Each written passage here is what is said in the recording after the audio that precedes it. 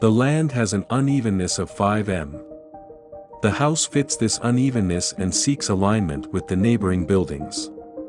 Principles of lightness and essentiality present the opportunity to take shape and, in a single opportunity, pursue how to relate very different materials such as concrete, steel, and wood. The construction execution time was an essential requirement for the development of work. An apparent structure of concrete sheets connects the space of the first floor of the house to the ground and allows the anchorage of a steel structure, made in an industrial environment, which forms the second floor.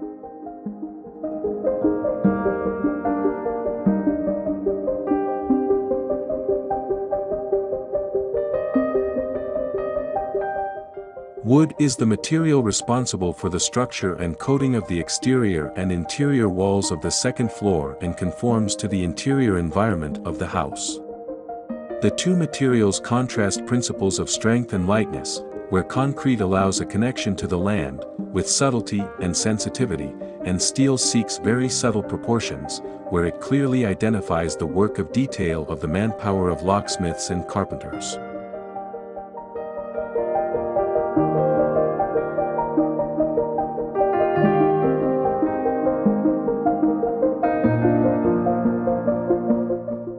This house is considered a laboratory of construction and design, where it became possible to confirm some requirements regarding the industrialization and assembly of the steel structure, test assembly and execution times, and, at the same time, understand the difficulties in which the same concept can be brought to its maximum potential concerning the design and execution of the details and finishing aspects that, in this case, were developed in an artisanal way in joint work between the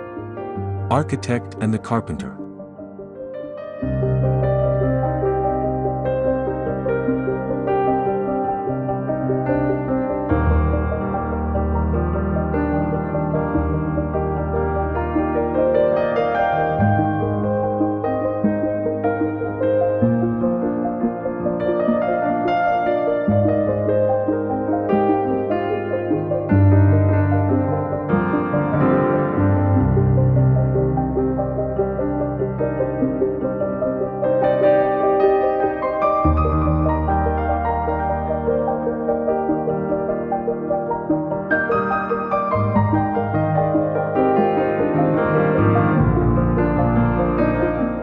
More than half of the materials used to enter this field, namely the option for a green roof, use of thermal insulation of black cork agglomerate and cellulose paper, made from recycled paper, flooring with wood used from frames, reuse of rainwater for irrigation and reforestation of the land,